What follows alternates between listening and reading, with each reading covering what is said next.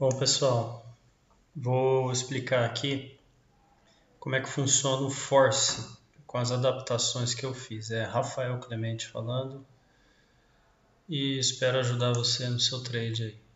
Eu estou aqui no mini dólar 5 minutos, tá? Vamos lá, inserir Force, inserir,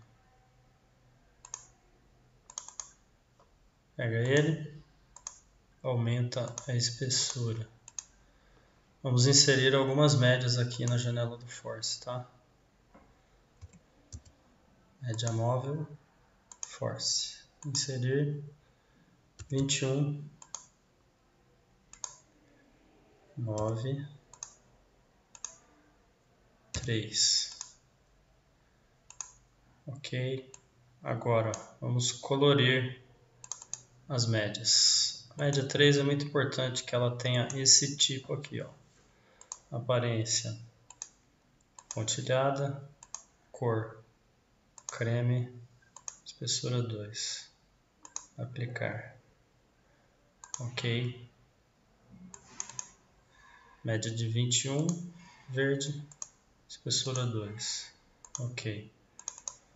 Média 9, fúcsia espessura 2. Ok.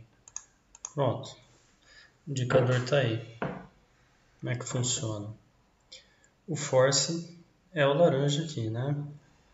E aí tem as médias que a gente colocou, correto? O que a gente vai estar tá observando aqui é o trabalho do force em relação às médias. O cruzamento principal dele é quando ele vem cortando todas as médias e passa pela verde, correto? Nisso a gente vai estar tá fazendo o Price Action, leitura de candle, para estar tá executando da maneira correta. Vamos lá, procurar uma opção.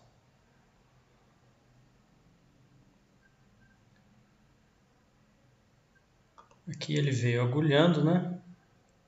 Fez um corte meio falso e acabou cortando aqui nesse ponto.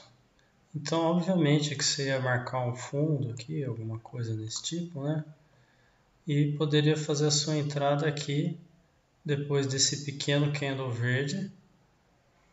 E aí você, ó, faz mais de 10 pontos nessa operação, correto? Aqui ele começa a subir de volta vem. Bom, estava falando sobre essa subida aqui, né? Fez esse corte, foi embora, tá?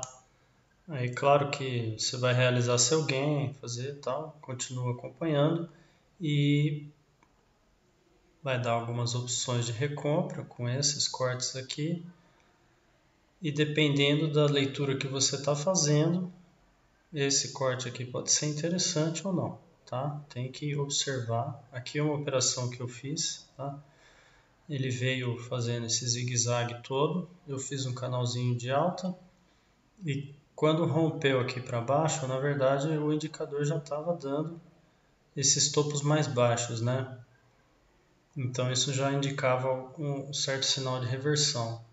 Aí quando ele veio aqui, confirmou com esse corte da linha verde, tá? E pau, 10 pontos, certo? Aí quando começa a subir, você fica analisando novamente, ele pode dar a opção da revenda aqui através do, do cruzamento da linha roxa de novo. Aí vai da, da leitura que você está fazendo, tá certo? Então é isso, põe aí na sua tela, analisa, faz replay de mercado e só como um acessório. Qualquer coisa estamos aí. Também não sai operando igual louco. Faz o price action e beleza.